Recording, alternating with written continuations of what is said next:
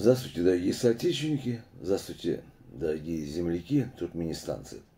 А, сегодняшнее выступление я хочу посвятить тому, что Атамурат выставил видео, ну, с разоблачением и конечным резюмированием того, что было сказано неким господином, да, а, которого вы все знаете, да, там с подробным изложением и с хронологией, когда, что он и что говорил, да.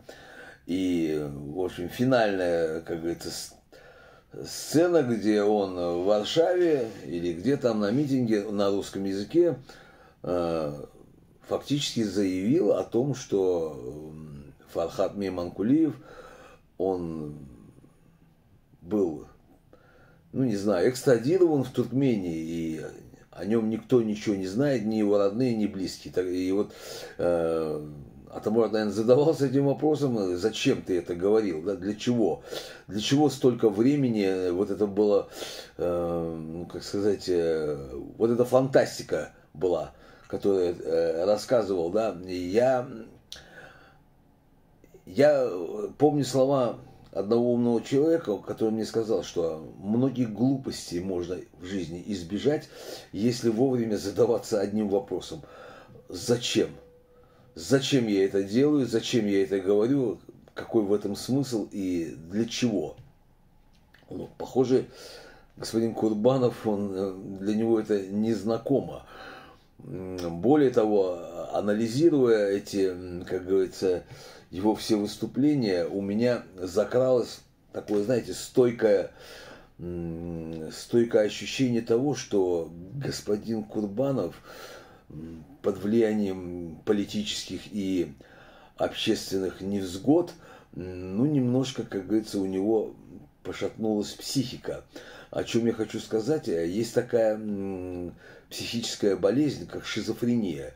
Переводится шизофренос – это расщепление ума это на все то, что похоже, что э, в обычной жизни он просто гражданин Франции, житель города Тулузы, э, ну, занимается айкидо, а вот в, во второй его э, жизни другой, где он является всенародно избранным президентом с помощью электронных выборов. Да. И вот, короче, это расщепление ума, где он э, когда он перед камерой, он президент, лидер ДВТ, когда ну, камеру выключают, он становится гражданином. И, кстати говоря, это все его, то, что вот это все вранье, вот эта череда вот этих э, сказок, которые он рассказывал именно про Фархада, оно очень сильно напоминает один из разновидностей шизофрении, так называемый шубовый сдвиг. Только это не в честь шубы названо, а в честь немецкого психиатра Шуба. А, в чем проявляется этот шубовый сдвиг? Когда человек врет или рассказывает какую-то неправду и искренне, свято верит в это. И при попытке ему возразить, это вызывает у него крайнюю степень ярости и неприятия, и он готов идти на все, чтобы устранить этот источник возражения, да. Ну вот это очень сильно напоминает этот называемый то, что и, делал Курбанов. Ну, учитывая то, что, как говорится, и раньше он э, рассказывал сказки, э, ну, вы, наверное, все э, помните, короче, э, о том, что, как говорится, э, корабль упадет китайский на Туркмению, да, про 500 долларов я уже даже и говорить не буду, который он обещал всем раздать, хотя мы его отговаривали, ну, та маниакальность, которой он осуществлял свои диалоги, да, то есть не слушая здравый смысл, ну, наталкивает на мысль, что все-таки это примерно то, что я говорю.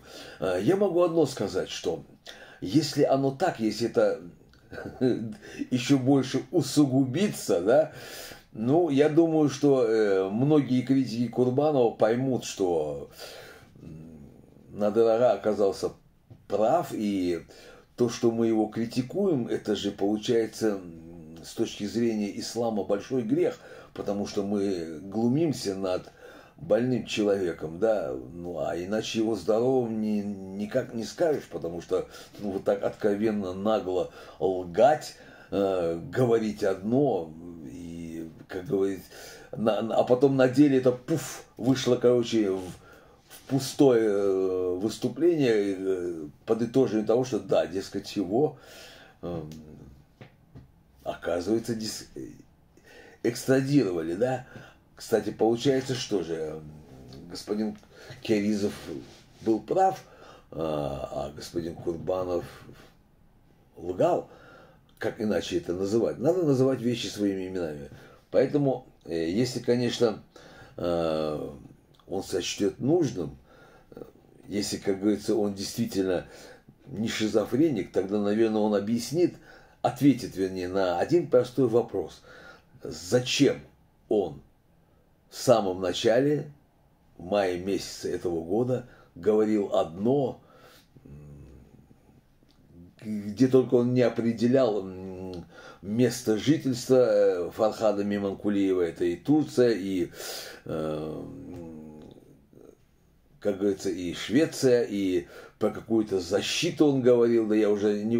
Э, это такая, знаете, спонтанная терминология, которую он придумал, что она даже у меня в голове не отразилась, потому что если это что-то действительно фундаментальное или это держится на каком-то законе, я это запоминаю, а вот бред какой-то придумки долго в голове не держится. Поэтому, ну, наверное, нужно у господина э, следующий этап всем людям задайте, задайте вопрос Курбанову о, о том, что зачем он это говорил, да, и читая комментарии под э, этим видео от Амурата, да, я просто был, я удивился всему тому, что написали в адрес месье Курбанова, да, и, и этот человек еще говорил, что я потерял уважение у туркмен.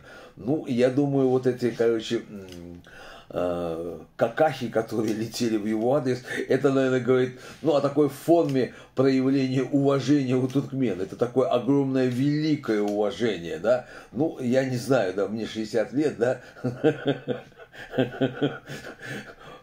Астафируллах иметь такое уважение, да. А, и, ну, я, в принципе, все сказал, да, и я думаю, что ну, туркменский скажет, короче, ему, что надо. Всего доброго. Всем добра.